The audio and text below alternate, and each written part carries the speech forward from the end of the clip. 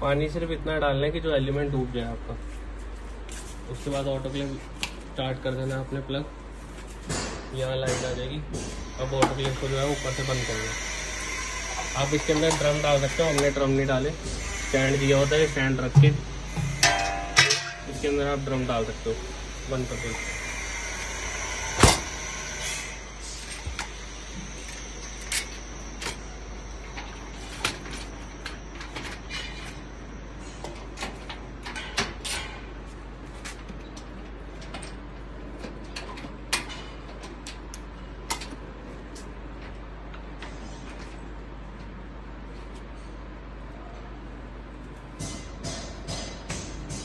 ये आमने सामने जो है आपको नॉब टाइट करनी है।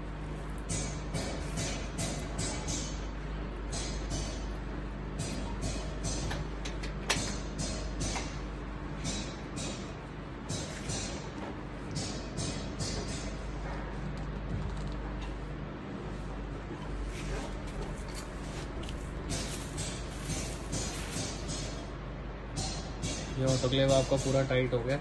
अब ये 20 से 25 मिनट लेगा। जब ये गेट जो है 15 पी पे आ जाएगा तो ये जो सीटी है, ये उठ जाएगी।